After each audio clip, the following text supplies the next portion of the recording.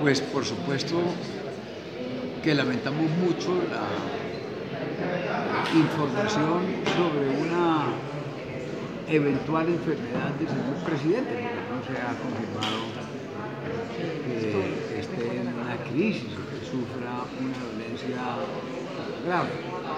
Eh, ojalá que, que eso se supere, que no sea nada delicado.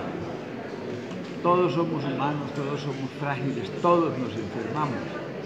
Y algunos, a Dios gracias, nos mejoramos, o mucho, de manera tal que ojalá eh, el señor presidente pueda superar muy pronto esta situación.